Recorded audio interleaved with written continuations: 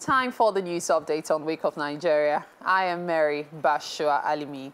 It's jubilation uh, from the governor-elect and the All Progressives Congress as the final declaration has been made by the returning officer, Professor Farouk Adamu, who is the Vice-Chancellor of the Federal University of Technology, Minna. Former Governor of Edo State, Adams Oshiomhole, and President of the Senate, Godswill Akpabio, as well as governors of the APC, were present in Benin City to celebrate the outcome.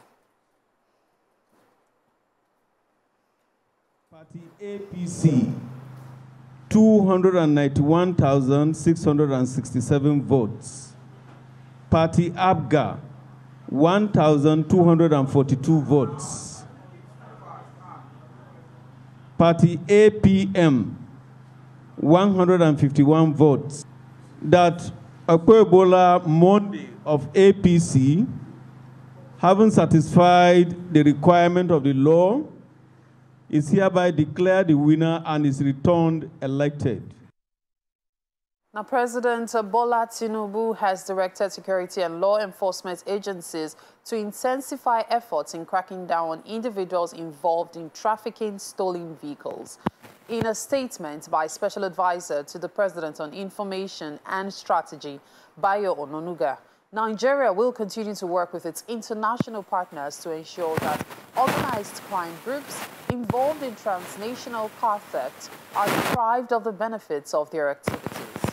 The president acknowledged the recent handover of 53 vehicles and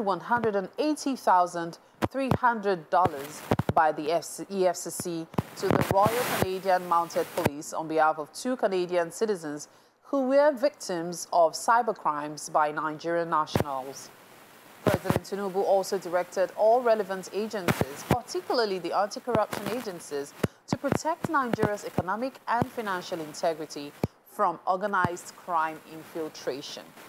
The statement also reads, and I quote, Nigeria is not a destination for stolen vehicles, nor uh, is it a haven for illicit wealth from foreign countries. End of quote. The president says his administration remains committed to tackling money laundering, cybercrime, and other financial crimes. Outside Nigeria, Israel and Hezbollah have threatened to increase their cross-border attacks and international appeals for them to step back from an all-out war. Israel's military said about 150 rockets, missiles, and other projectiles were fired at its territory overnight on Saturday and early on Sunday. Israel launched its own strikes on targets in southern Lebanon, which it said destroyed thousands of Hezbollah's rocket launchers. Prime Minister Benjamin Netanyahu said Israel would take, quote, whatever action is necessary to restore security, end of quote, and return people safely to their homes along the Israel-Lebanon border. United Nations Chief Antonio Guterres told CNN to, that he feared the possibility of transforming Lebanon into another Gaza. The UN Special Coordinator in Lebanon also mentioned that the Middle East was on the brink of an imminent catastrophe.